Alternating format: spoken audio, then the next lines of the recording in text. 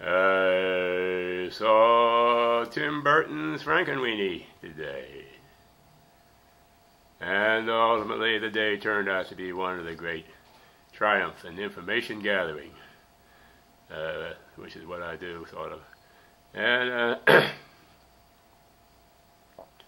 uh, Burton apparently is, a, or he could be said to doing an example of McCarthyism, is what we call it, back when it was uh, Republicans were spending all their time calling the Democrats communists.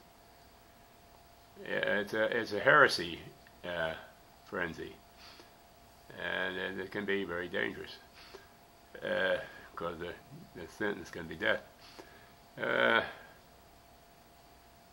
now, Burton's movie is, it could be said to be uh, an example of McCarthyism or heresy uh, frenzy. And then I get over to the library, and New Yorker magazine has two stories in it.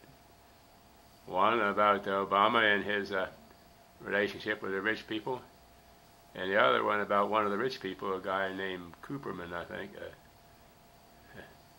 69 year old guy who made a couple billion dollars in financial uh, trickery. Now, what you discover here is the Romney attitude of uh, 47% of the population are lazy mooches being supported by the rich people. they, they truly believe that. And they are in a frenzy of alarm. They think uh, that there might be an uprising against them. And this is about time you start having the heresy charges, as to use an ancient name.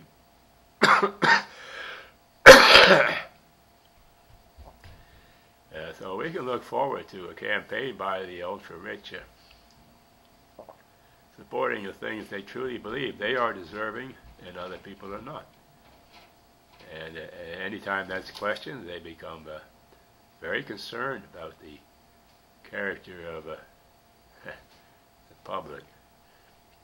Uh, traditionally, through history, if they could get away with it, the sentence has always been death for heresy, burning stake, crucifixion, anything good and painful. They like that.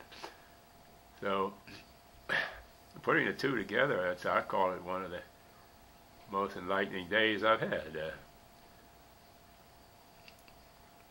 I don't know whether I made it plain enough, but that's what I thought.